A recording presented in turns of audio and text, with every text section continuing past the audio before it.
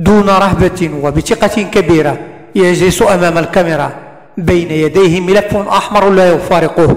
وبلغة بسيطة وبتلقائية يشرع في سرد تفاصيل قصة جديدة من قصصه البوليسية المشوقة. هكذا يطل الضابط المتقاعد عبد القادر الخراج كل يوم على متابعيه على موقع يوتيوب. يقول أول مرة كنت فيها وجها لوجه أمام الكاميرا. استغرب المخرج وسألني عن السر وراء قدرتي على الحديث بعفوية وبدون ارتباك أمام الكاميرا.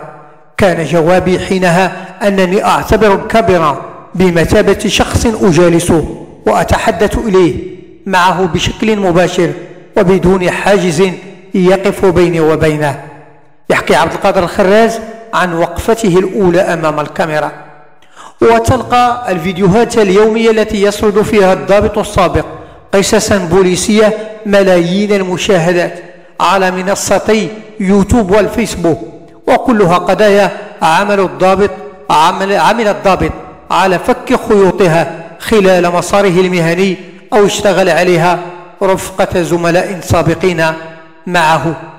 ويعبر أغلب متابع فيديوهاته اليومية عبر تعليقاتهم عن إعجابهم بأسلوبه الممتع والذي يتميز بالعفوية في نقل أحداث تنبع من عالم الإجرام والمجرمين خلال فترة عالم عمله في مختلف أسلاك الشرطة المغربية على امتداد أربعين عاما.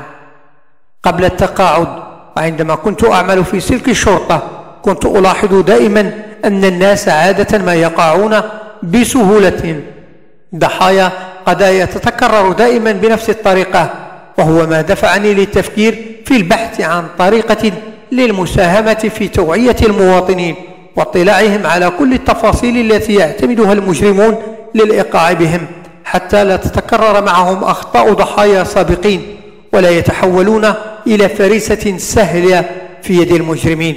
يبرز الخراز دوافعه لسرد أحداث القصص البوليسية على اليوتيوب. انطلق الضابط المتقاعد في أول فيديوهاته من قضايا اجتماعية إلا أن, قو... إلا أن أول قصة جريمة تطرق لها شكلت فارقا بالنسبة له ولقت انتشارا واسعا حيث شرع بعدها في عرض مزيد من القصص من هذا النوع.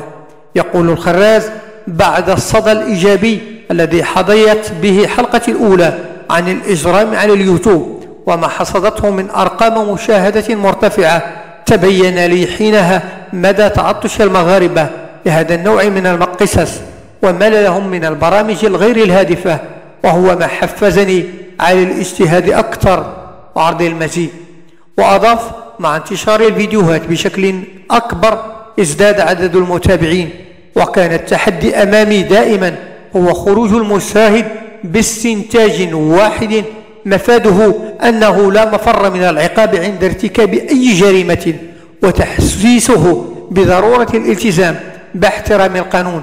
كما أن تلك الحلقات كان لها دور في مصالحة الجمهور مع المؤسسة الأمنية ويتابع أضحى الناس يعملون عمد العناء الذي يتكبده رجال الأمن من أجل التصدي للمجرمين وفك القضايا الإجرامية.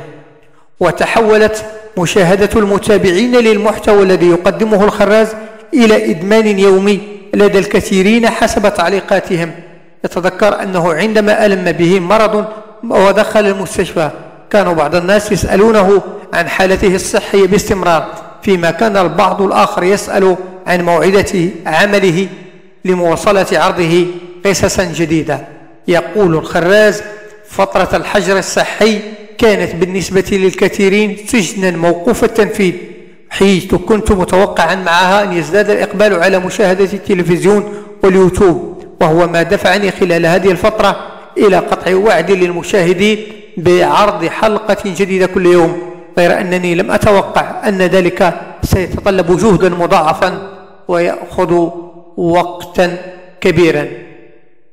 يقول التقاعد بداية مشوار لعطاء جديد ويشدد على أن العمل والإنتاج لا يرتبط بعمر الإنسان وما دام الشخص يؤمن بقدرته على العطاء المستمر فإنه يكون قادرا على النجاح والتألق ويضيف رغم بلوغ سن التقاعد كنت وما زلت أفضل مجالسة الشباب لكونهم أكثر انفتاحا من غالبية المتقاعدين الذين يعيشون منغلقين على أنفسهم وتسيطر عليهم الكثير من الأفكار السلبية. المشاهد TV قبل ما تخرجوا ما تنسوش تابوناو في la chaîne YouTube وبارطاجيو الفيديو مع أصحابكم في مواقع التواصل الاجتماعي. وما تنسوش ديروا j'aime.